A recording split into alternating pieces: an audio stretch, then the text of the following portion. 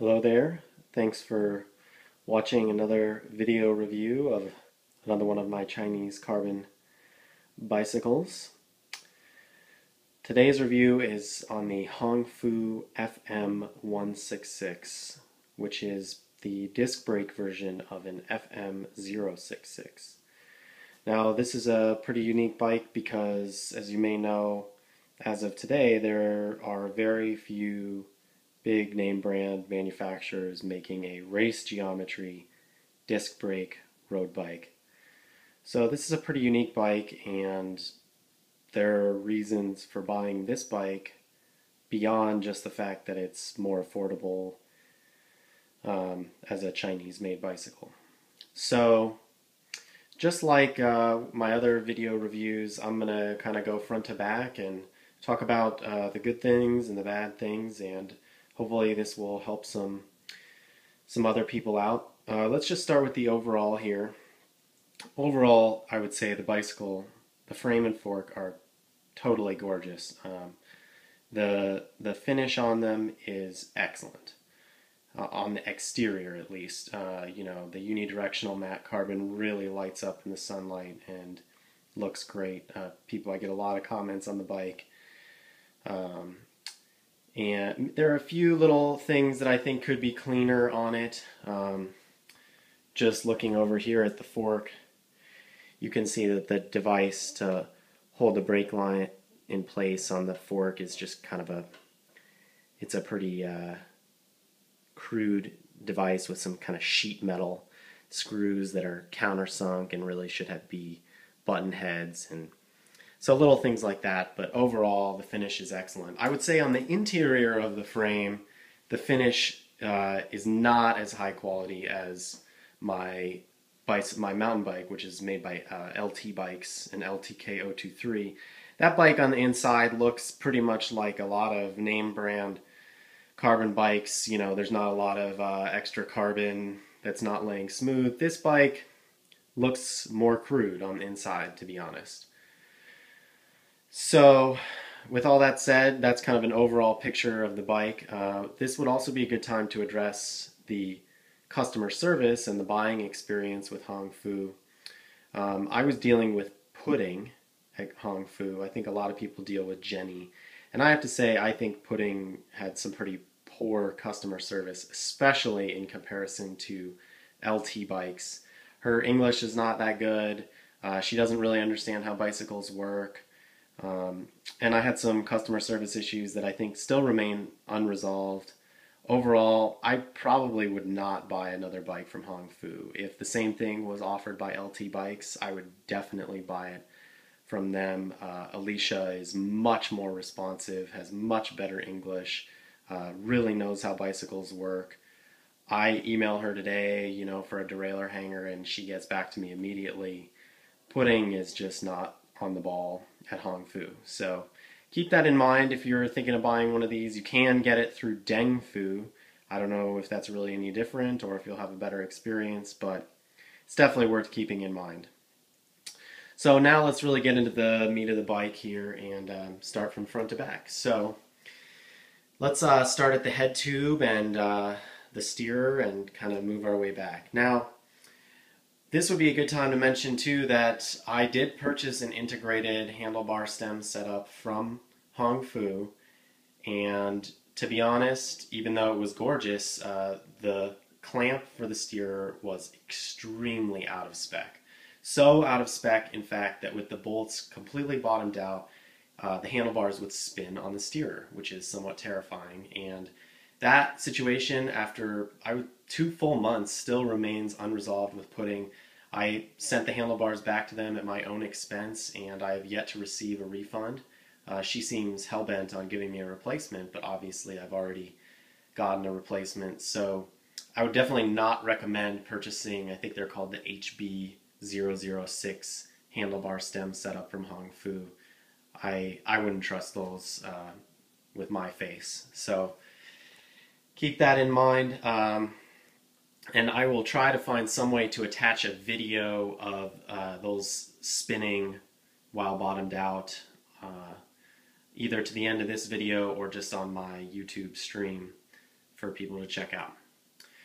So with that behind us, um, with the with this Syntace and Easton bar setup, uh, the front end of this bike is super stiff. Uh, I really like it. I was coming from a Giant TCR Advanced, which I think has a really stiff front end, and to be honest, I think this bike is stiffer.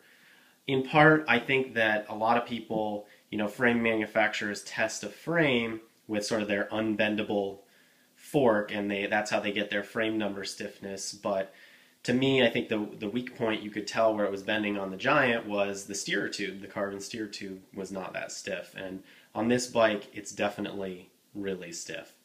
Now, all that said, the the car the fork on this on the front end of this bike is super stiff. Um, I still can occasionally hear a brake pad rub when I'm in a leaning deep into a curve turn, but the fork on this bike is extremely I wouldn't say it's extremely heavy, but it's heavy. It is overbuilt big time. And uh, you'll be surprised. You'll pull the frame out of the box, and the fork weighs basically the same as the frame. So just keep that in mind. Um, I don't have an exact weight, but needless to say, this thing is beefy. I mean, these fork legs are huge. Uh, one good thing is uh, Hongfu was pretty smart and they put some forward-facing dropouts on this bike, so uh, they were definitely thinking smart with the disc brake. Uh, it is the frame and fork are intended for a 140 rotor setup, so if you're going to use a 160 like me in the front, you will need a spacer. So that's the front end of the bike. Uh, I don't think I'm missing anything there. Um, as we move back, nothing really big to talk about. The down tube is quite sizable. Um, it's got kind of that same squoval shape that uh, Cervelos have, and to be honest, this bike looks a lot like a, an R5. Um, when you walk up, that's kind of your first impression. Um, couple finish issues as we move back. Uh, these little ports for the cables, if you're using uh, a Di2 setup like me, uh, there's not really a good way to plug this off. I just use some silicone here. Also, the uh, grommets that Shimano provides don't really fit that well into these kind of cheapy plastic plastic little ports. So um, on the other side, I use silicone there as well. Another thing that some people might uh, not like about this bike is the fact that the rear brake line here is routed externally on the on the down tube and the bottom of the rear left chainstay. Now, for me, that doesn't really bother me. Uh, to be honest, I think that for a lot of people who are building their own bike, you know, yeah, would it be cleaner to have it inside? Certainly, but also if you're running one of these new hydraulic setups that's coming out, it might mean that you could avoid a bleed. So that's kind of nice. Um, as we move back, didn't have any issues here with the the seat tube. It's uh, definitely definitely right to spec for the seat post size. I did buy originally a one of the um, Hongfu seat posts that came with it, and boy, it's a nice light seat post and has a in, you know a pretty neat clamping mechanism. But uh, the set it has a lot of setback to it, and I like my saddle pretty far forward, so I ended up purchasing an, an Easton uh, zero setback post, and I've had no problems there. So yeah, probably one of the coolest parts of the bike is right here at the uh, seat stay junction and you can see I mean it is just so clean without a brake there.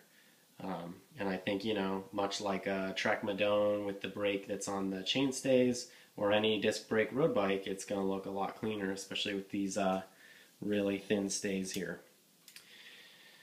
So yeah moving down um, I opted not for the BB30 I, I just got the uh, BSA bottom bracket setup just for ease of installation, really. And uh, I I think the the bottom bracket's pretty stiff. Could it be stiffer? Probably, but um, for the average rider, I think it's amply stiff, and you can see the C2 cluster is, the bottom bracket cluster rather, is is quite significant, and there's a pretty big bridge here.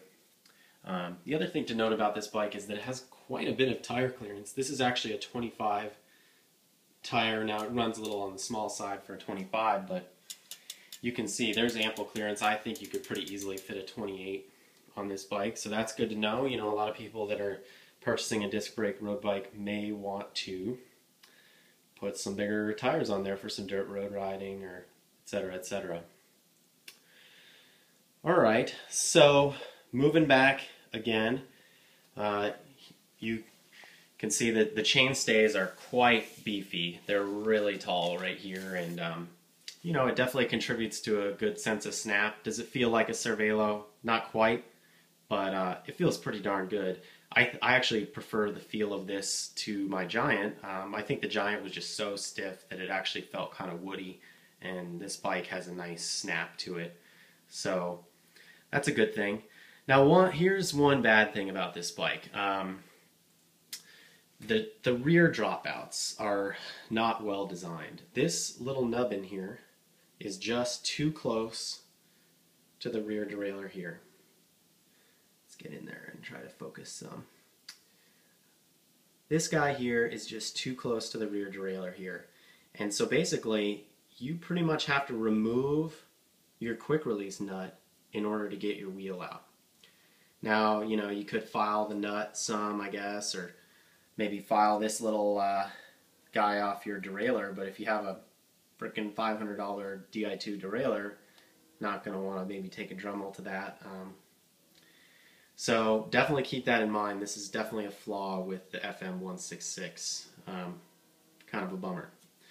Another issue that I had at the rear of the bike was the rear brake mount. Now, I have no idea why they did this, but they made this bike a 130 spaced rear, which makes no sense there's not a lot of 130 disc hubs out there, and I think most of the road bikes are going to be going to 135 anyway. Uh, regardless, my friend and I both bought this frame, and they were willing to build us custom 135 ones, which they did. However, the I would say the rear spacing or the spacing for the rear brake caliper was off. Um, right here on the frame, let me kind of focus there for you right there you can see I had to sandpaper this some. Now this 140 rotor, this XTR rotor has these kind of pins in it and that was rubbing on the frame right there so I had, I had to sandpaper that just a little bit. It was just pretty much the clear coat. Um, but beyond that, I had a lot of problems with the outside pad rubbing on my caliper, so I ended up having to drill out my caliper more so I could move it farther outboard to avoid that outside pad rubbing. Um, you know, these are some build issues that you run into with these Chinese bikes. They're just not quite perfect a lot of the time.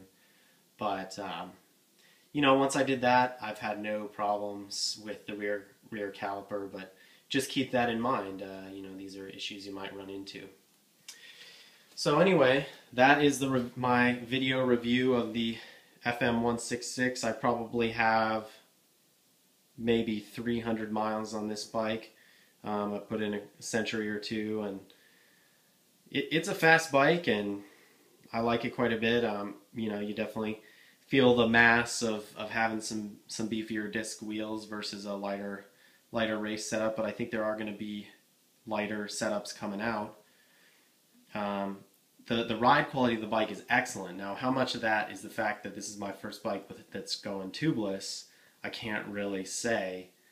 Um, I do think the bike rides quite well though, and um, I would say my main gripes with it are definitely that rear rear dropout, tough to get the wheel in and out, and uh, and the customer service from Hong Fu. But other than that, the bike itself seems to be quite good. So that's my video review. I hope this helps some people who are out there considering a disc brake race geometry road bike and are looking into Chinese ones feel free to comment with any questions. Thanks.